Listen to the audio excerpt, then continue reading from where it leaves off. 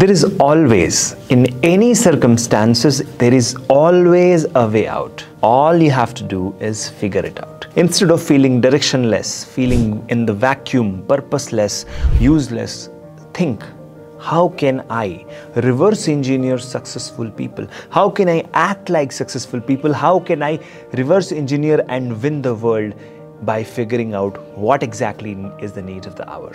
All you have to do is dream, plan, execute. Never ever stop. Figure it out. There must be a way out.